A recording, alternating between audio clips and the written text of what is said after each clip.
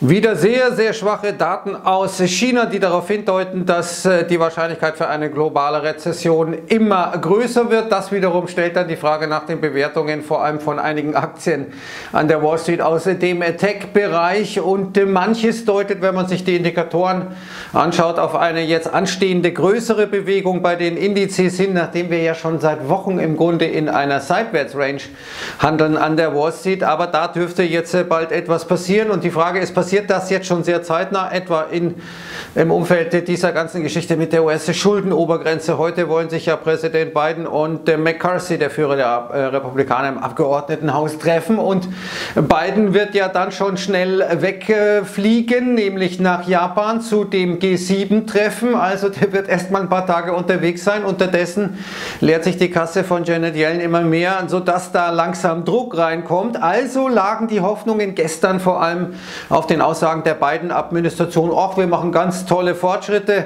Äh, McCarthy, der Republikaner, hat das offenkundig anders gesehen. Die Märkte haben zunächst mal der beiden Administration geglaubt. Was wir hier sehen, meine Damen und Herren, ist der City Economic Surprise Index für China. Und wir sehen, das geht deutlich nach unten. NBS praktisch die, äh, die, nationale Statistikbehörde in China äh, schreibt über die heute Nacht veröffentlichten Daten, wir haben schließt einfach zu wenig inländische Nachfrage. Wir sehen, dass die Jugendarbeitslosigkeit jetzt auf 20,4 Prozent gestiegen ist. Das heißt, ähm, da sind viele Leute ohne Beschäftigung und das wird früher oder später äh, Unruhe schaffen, auch wenn natürlich die ähm, Staatsapparate da sehr, sehr genau hinschauen. Wir schauen genau die Daten äh, uns an. Industrieproduktion nur 5,6 Prozent zum Vorjahresmonat gestiegen, erwartet 10,9 Prozent. Jetzt muss man wissen, dass, zum, dass im Vorjahresmonat eben China weitgehend im Lockdown war. Da war also wenig äh, Produktion sowieso, wenn da Lockdown ist. Dementsprechend ist das eine absolut enttäuschende Zahl. Auch die Retail Sales, also die Einzelhandelsumsätze schwächer und die Bauinvestitionen, Fixed Investments deutlich äh, schwächer. Und äh, hier sieht man schon, dass auch Xi Jinping langsam nervös wird. Jetzt wurde hier ein Comedian verhaftet der ähm, die äh, militaristische Sprache von äh, Xi Jinping, vor allem in Richtung Taiwan, so ein bisschen, nur ganz zart parodiert hatte, Bums, gleich mal die Handschellen geklickt und wir hatten gestern schon gesehen, dass China die Zinsen für Spareinlagen senkt, um den Konsum anzukurbeln, weil da schlichtweg zu wenig passiert. Das heißt, man gibt den Leuten keine Zinsen mehr, damit sie das Geld auch ausgeben. Wir sehen der Kreditimpuls schwach jedenfalls mehren sich jetzt die Stimmen, dass da irgendwie eine Zinssenkung aus China kommen muss. Und überraschend ist, das erste Mal seit Juli 2022, also seit fast einem Jahr, hat China wieder US-Staatsanleihen gekauft, hat seinen Bestand an US-Staatsanleihen vergrößert und zwar in nicht unerheblichem Volumen von 20 Milliarden Dollar. Das ist die größte Summe seit Januar 2021. Also das ist erstaunlich. Deutschland hat übrigens amerikanische Staatsanleihen verkauft. Die, die, der Robert Habeck, der braucht da Geld, gell? Und dann muss er halt einmal ein paar Anleihen von den Amerikanern verkaufen. Wenn wir jetzt zu den Aktienmärkten kommen, dann sehen wir einen neun der letzten 20 Handelstage im S&P 500 hat der S&P 500 geschlossen zwischen 4.130 und 4.138 Punkten, also in einer engen Range. Wir sehen gestern leichtes Plus, vor allem wieder beim Nasdaq. Wir sehen dass Finanzwerte gestiegen ist, deswegen das, ähm, der Russell 2000, also der Small Cap Index, in dem sehr viele Finanzwerte sind, äh, mit am stärksten. Da haben sich die Regionalbanken erholt. Allerdings, wenn man sich den Chart des KRE ETF anschaut, also des Regionalbanken ETF, dann sieht das immer noch dramatisch aus. Also gestern wieder äh, leichtes Plus und schauen wir uns mal das Volumen an, etwa beim SPY, also dem maßgeblichen ETF auf den S&P 500, 53,9 Millionen unterirdisch. Wir hatten letzte Woche nochmal zwei noch unterirdische Handelstage, aber alles unter 70, unter 80 Millionen Kontrakten ist echt schon dünnes Volumen und 53 ist eine Katastrophe. Äh, das ist wirklich äh, unterirdisch. Hier sehen wir nochmal, es war Amazon, es war vor allem Meta, es war Nvidia, es waren vor allem wieder Tech-Werte, die das Ganze nach oben gezogen haben und Finanzwerte. Ansonsten sind ähm, wieder nicht mehr Aktien gestiegen als gefallen äh, gestern. Und hier sehen wir, dass der S&P 500 schon lange an dieser Widerstandszone, so in, dieser, in diesem Bereich 4150, 4175 handelt bisher. kommt er nicht darüber, wird das bald passieren. Hier sehen wir mal den Nasdaq der sich auch so ein bisschen verkeilt, so eine Wedge bildet. Unten sehen wir das deutlich abnehmende Volumen in den letzten Tagen. Man steigt also unter fallendem Volumen, könnte man sagen. Gleichzeitig sehen wir ein Auseinanderdriften zwischen den Anleihen. Wir sehen, dass die US-Staatsanleihenrenditen gestern wieder gestiegen sind, aber Tech auch. Normal läuft das nicht 100% gegenläufig, aber doch korrespondiert, ist meistens äh, deutlich negativ ähm, korreliert, diese beiden Geschichten. Und wir sehen weiter dieses Muster, das jetzt ähm, Sudmeier von der Bank of America veranlasst zu sagen, Vorsicht, wir stehen vor einem Top, denn die Advanced Decline Linie, also die Anzahl der Aktien, die steigen in Relation zur Anzahl der Aktien, die fallen, die sieht nicht gut aus. Hier sehen wir vor allem in äh, dieser Grafik, äh, dass wir hier unten, jetzt wenn Sie mal gucken, oben sehen wir den S&P 500, unten sehen wir die ähm, Advanced Decline Linie, also wie viele Aktien äh, über ihrem 10-Tages-Durchschnitt sind und das geht immer weiter zurück.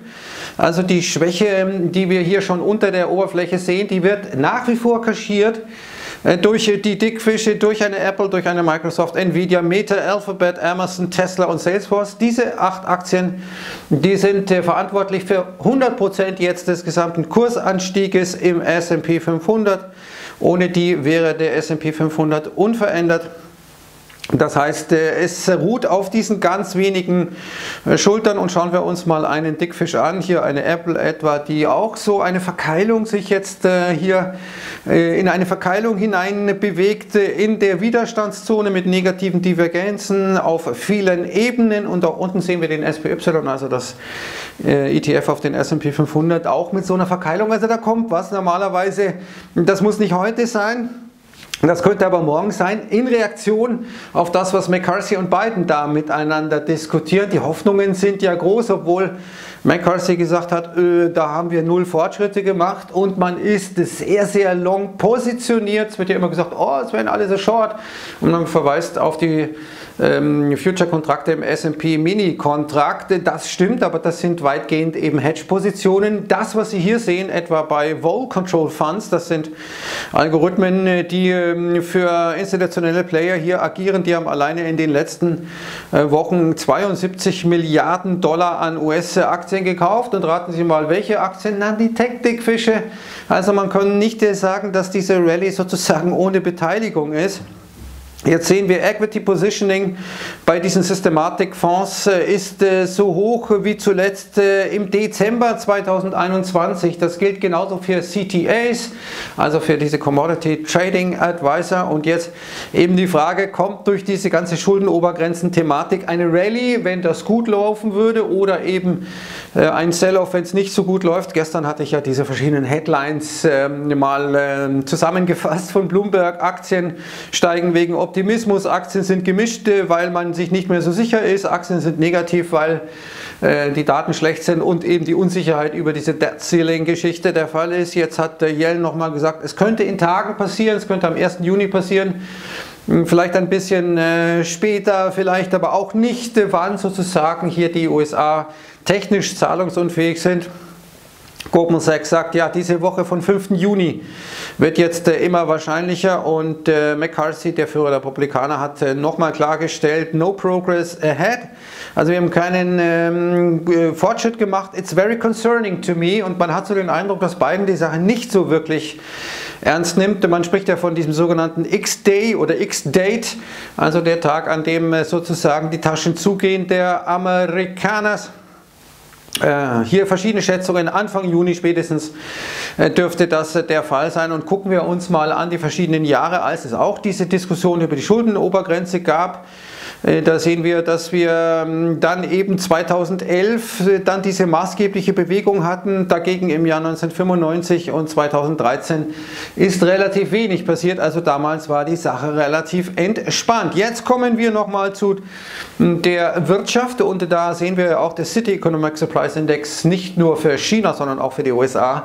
Der ist deutlich schwach. Das heißt, die Rezessionswahrscheinlichkeit steigt immer mehr. Normal ist eine Rezession nicht gut für Aktien. Die Aktien sagen, sagen sich, das ist uns wurscht, gell? Das, äh, das äh, können wir ja das nächste Mal bedenken. Heute bekommen wir die Retail Sales, ja so wichtig, also die Einzelhandelsumsätze in, in den USA, die Daten ja zuletzt eher schwach. von den Konsumenten. Gestern dieser katastrophale New York Empire State Index mit dem drittgrößten Fall seiner Geschichte auf jetzt minus 31, also tief in Rezessionsterritorium. Und wir haben jetzt neue Rekorde in kurzer Zeit in Sachen Bankrotte in den USA. Sieben große Firmen haben jetzt äh, in 24 Stunden Bankrott angemeldet, unter anderem Wise in Amerika, in äh, den USA sehr, sehr bekannt. Wir sehen jetzt äh, die Bankrotte bis April schon mit einem neuen Rekord seit dem Jahr 2010. Also das häuft sich jetzt, diese ganze Geschichte. Und Bostic, äh, der Atlanta Fed-Chef, hat es, äh, glaube ich, auf den Punkt gebracht gestern, als er gesagt hat, wir sind jetzt erst am Beginn einer Zeit, wo wir sehen, dass die Zinsanhebungen zu wirken beginnen. Äh, das genau ist der Punkt. Es dauert eben, bis sich das ins System reinfrisst. Hier nochmal verschiedene andere Grafiken in Sachen dieser doch sehr, sehr steilen Anstiege der Bankrotte in die USA. Und hier nochmal Aussagen eben von Bostic, der gesagt hat, also bis 2024 werden wir die Zinsen nicht senken. Ähnlich auch Kashkari, nur Gouldsby hat gesagt, lass uns jetzt mal abwarten, wie diese ganze Geschichte wirkt. Heute haben wir wieder jede Menge Fatspeak durch Mester, durch Bostic, durch Barr und durch Logan. Also da kommt wieder einiges auf uns zu in Sachen Fed und vielleicht das Dilemma, das bringt dieser Mann auf den Punkt Raghuram Rajan, der sagt, naja, wenn die Fed jetzt eine Pause macht und das klar kommuniziert, dann äh, feiert der Markt wiederum, dadurch wird der Job der FED deutlich schwieriger, denn dadurch, wenn die Aktienmärkte steigen, sind die Leute auf dem Papier reicher, konsumieren mehr. Das ähm, Thema bleibt dann eben dieses Ungleichgewicht zwischen Angebot und Nachfrage. Äh, viel Konsum, viel Nachfrage sorgt in der Regel für steigende Preise und jetzt auf der anderen Seite wenn man äh, eben äh, gucken muss, wie man jetzt mit diesen Problemen der Finanzstabilität umgeht, Stichwort Bankenkrise, da ist es jetzt ein bisschen ruhiger geworden, obwohl die Abflüsse äh, bei den Banken insgesamt natürlich weitergehen. Und jetzt beginnt auch das Rattenrennen hier in äh, Europa massiv, denn wir sehen, dass die Sparkassen jetzt in das große Zinsrennen einsteigen. Die haben sich ja bisher sehr zurückgehalten und gesagt, ach, nö, wir hatten noch so lange Negativzinsen, da geben wir nichts weiter. Jetzt äh, muss man aber offenkundig sich bewegen, äh, weil die anderen eben sich schon bereits bewegt haben. Das ist die erste Empfehlung, meine Damen und Herren. Die Sparkassen bieten jetzt verstärkt Zinsen an, um eben wieder Konkurrenz oder um konkurrenzfähig zu bleiben. Der DAX der nach wie vor in diesem Bereich 15.900 äh, hantiert, äh, schwunglos, viele Risiken, wenig positive Impulse, so ein Kollege von mir in einer ausführlichen Analyse zum DAX. Zweite Empfehlung. Und die dritte Empfehlung, China senkt die Zinsen für Spareinlagen, um den Konsum anzukurbeln. Das Problem ist der Immobilienmarkt. Das ist der Grund, warum wir eben diesen Aufschwung nicht sehen, vor dem ich lange gewarnt habe, dass er nicht kommen würde. Alle waren total optimistisch. Oh, China, wenn die erst aufmachen, dann, dann brutzelt's dann wird die Konjunktur ja durch die Decke schießen. Das Gegenteil ist der Fall. China erholt sich nicht, das hat strukturelle Gründe, die Sie hier in diesem Artikel finden. Also drei Artikelempfehlungen. Ich sage jetzt erst einmal Servus und Ciao.